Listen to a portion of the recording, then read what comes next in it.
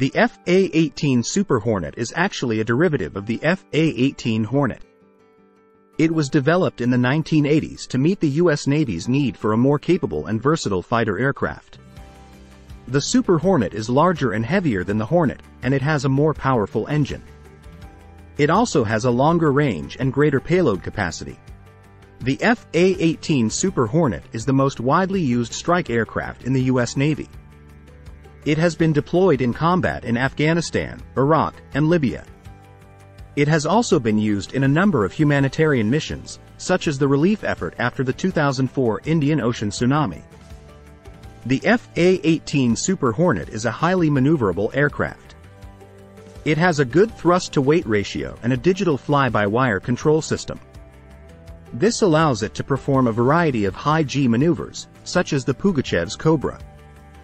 The FA-18 Super Hornet is a multi-role aircraft, it can be used for air-to-air combat, air-to-ground combat, and electronic warfare. It is also capable of carrying a variety of weapons, including air-to-air missiles, air-to-ground missiles, and bombs. The FA-18 Super Hornet is a very reliable aircraft. It has a low accident rate and has been praised by pilots for its ease of maintenance.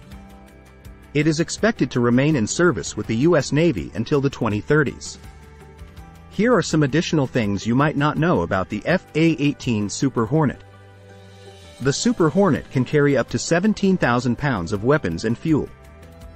It has a top speed of Mach 1.8, 1,190 miles per hour.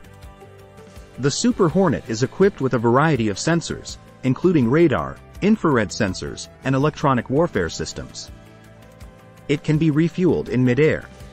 The Super Hornet is a very expensive aircraft. The cost of a new Super Hornet is about $70 million.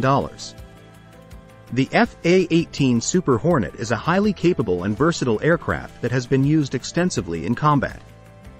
It is expected to remain in service with the U.S. Navy for many years to come.